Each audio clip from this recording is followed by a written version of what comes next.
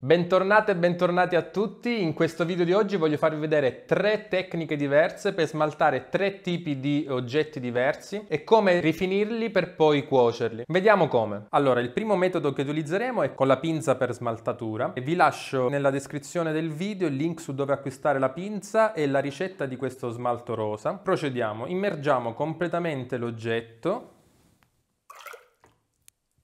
e svuotiamo. Giriamo lievemente l'oggetto in modo che non si formino gocce sul, sulle pareti e una volta che è asciutto possiamo poggiarlo.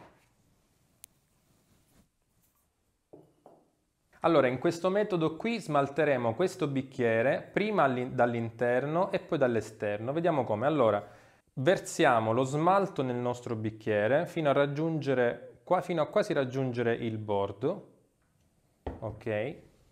Ruotiamo lievemente per far aderire lo smalto al bordo superiore, risvuotiamo nello, sma nello smalto e inseriamo il bicchiere fino all'altezza che desideriamo. Lasciamo qualche secondo, portiamo fuori e ruotiamo un poco per far cadere tutte le gocce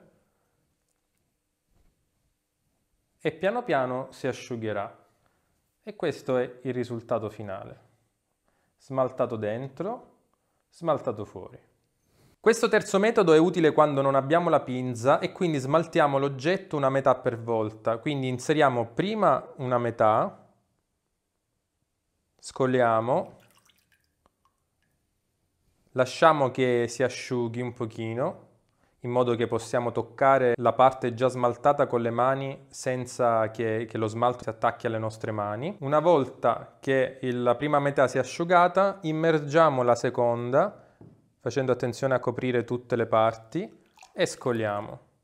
In questo modo abbiamo smaltato completamente il nostro oggetto. Allora, queste sono le tre tecniche che uso maggiormente per smaltare i miei oggetti. Su questi due che abbiamo smaltato completamente, chiaramente non possiamo metterli così come sono in forno, perché altrimenti lo smalto si attaccherebbe sulla, sulla piastra. Quindi possiamo scegliere o se togliere lo smalto dal fondo, di, per esempio di questo oggetto, vedremo subito come, oppure utilizzare questi oggetti qui che si chiamano zampe di gallina, dove noi andiamo a appoggiare l'oggetto completamente smaltato su questa zampa di gallina e poggiamo poi l'oggetto così com'è sulla piastra. Dopo la cottura questo oggetto presenterà solo tre piccoli forellini in concomitanza del, delle punte di metallo. Queste zampe di gallina sono fatte di un metallo resistente alle alte temperature dei forni. Per rimuovere lo smalto dal fondo dell'oggetto iniziamo con una spatolina di ferro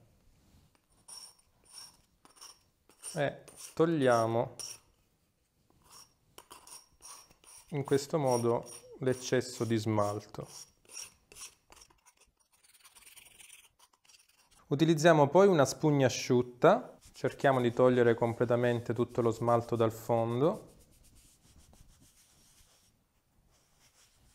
in questo modo qui, e infine con una spugna lievemente umida ci assicuriamo che nessun granello di smalto sia presente sull'oggetto.